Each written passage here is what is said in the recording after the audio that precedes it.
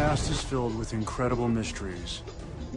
The clues to solving them are all around, In 1851, hidden in plain is now known sight. as Iraq, archaeologists Concealed in those pages is the key to something much, much bigger. library with 22,000 A conspiracy that crosses the globe. what we know to be the earliest writings on Earth. And a discovery date back to over that the world isn't ready to when the region believe. was known as Mesopotamia, Sumer, and Babylon. Amongst these vast writings is a story which mirrors the book of Genesis in the Bible. It tells a story of a great flood which reshaped the face of the planet Earth and all of her inhabitants. It tells a story of a tower built and the creation of the spoken word. One of these scrolls includes a star map of what appears to be a sun and its planets. The writings include detailed descriptions and maps of our solar system matching what we know today and beyond. It includes a tenth planet in an orbit between Mars and Jupiter. It is written that the tenth planet Nibiru was thrust into our solar system and collided with the planet Tiamat. The remaining bulk of Tiamat over time became Eridu, the Earth as we know it. And the rest of her became the asteroid belt. In retrograde to the other nine planets, Nibiru took orbit around our Sun in a long ecliptic or apogee. Lasting 3,600 years, it passes between Mars and Jupiter. This story of reptilian gods from the heavens creating man is not at all uncommon. It in fact can be found in most every region of our planet.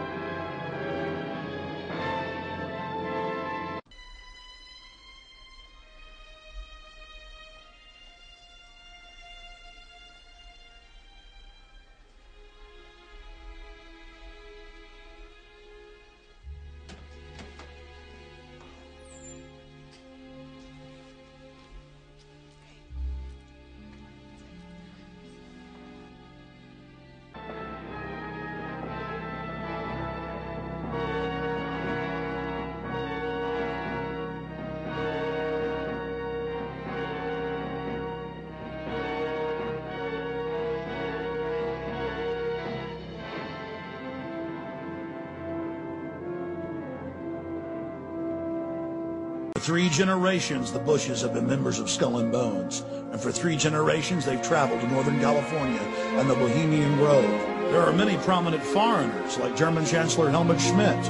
Ronald Reagan, Richard Nixon are pictured here in 1957 at the Bohemian Grove. Both men wrote about the organization in their public memoirs. Schwarzenegger is a reported visitor to the Bohemian Grove, as well as former President Jimmy Carter. Is the origin of the cult more in evidence than in former German Chancellor Helmut Schmidt's own autobiography, Men in Power, Trilateral Commission, the CFR, Bilderberg Group, and World Government. And he says that much of the decisions are made at the Bohemian Grove.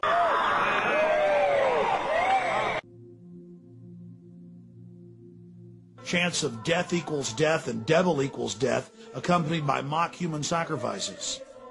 President Taft was a prominent member of Skull and Bones, and in 1900 he became the first president to visit Bohemian Grove in Northern California, a satellite of Skull and Bones. From 1945 and the end of the war through 1989 and the end of the Cold War, we had a worldview. Republican and Democratic presidents alike, from Harry Truman to George Bush, stood for freedom. And stood for certain propositions that would make America strong and healthy and grow the middle class and shrink poverty and stand against communism. And after 1989, President Bush kept said, and it's a phrase that I often use myself, that we needed a new world order, and instead it looks like we got a lot of disorder. And we still, when, and after 9/11, we've been more sensitive to the. We have before us the opportunity to forge for ourselves and for future generations a new world order, a world where the rule of law, not the law of the jungle, governs the conduct of nations. When we are successful, and we will be, we have a real chance at this new world order, an order in which a credible United Nations can use its peacekeeping role to fulfill the promise and vision of the UN's founders. This is an effort to uncover the worst and most incredible criminal organization and, and conspiracy in human history. And they have put this conspiracy together over hundreds of years, centuries it's taken them to get this kind of control.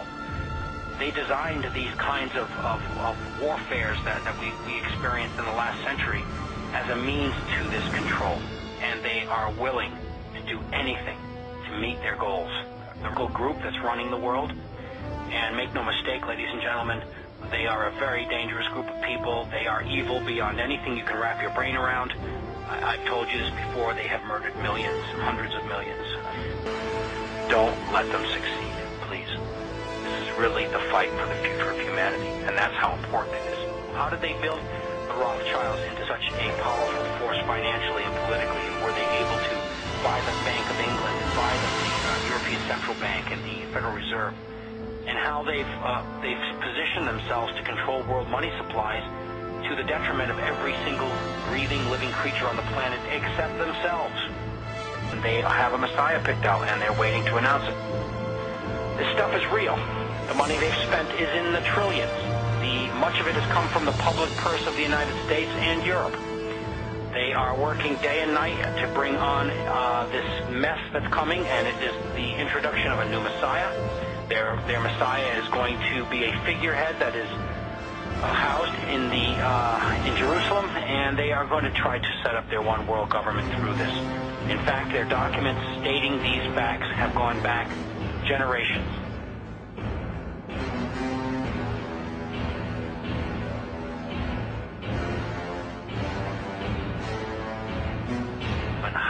Much do we need to stand for before we stand up and say that is enough?